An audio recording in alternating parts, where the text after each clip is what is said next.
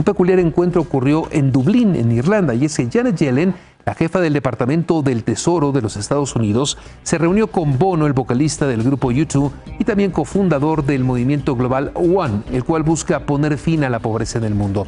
Hablaron de cómo la pandemia de COVID-19 está tirando por la borda el trabajo hecho durante décadas para erradicar la pobreza extrema. También se abordó la necesidad de otorgar alivio económico a los países con bajos recursos. Janet Yellen publicó una imagen de esta reunión con Bono y escribió It's a Beautiful Day. Sí, como el título de la canción de YouTube.